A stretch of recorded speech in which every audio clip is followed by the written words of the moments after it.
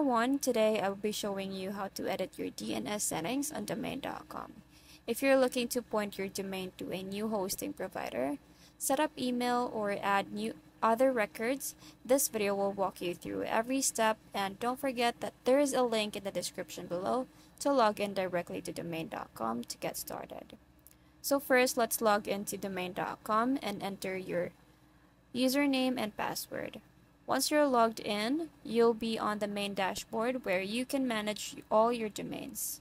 Make sure to use the link in the description below to log into domain.com. Next, head over to the domains section in your dashboard. Find a domain you want to edit and click on it. This will open up the management options available for your domain. Now, look for the section labeled DNS and name servers. This is where we'll make it make all the DNS changes. So you just have to click on it to access your current DNS records. Now, once you're on the DNS settings, you'll see all your current records. So to edit an existing record, just click on it and update the information. After that, you just have to tap on save.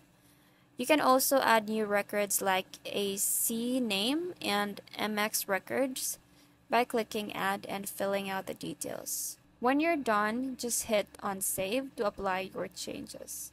Remember, it may take some time for your changes to fully propagate. So don't worry if you don't see them live right away. And that's it. You've successfully updated your DNS settings on domain.com. If you're ready to make these changes, check out the link in the description below to access your domain.com account.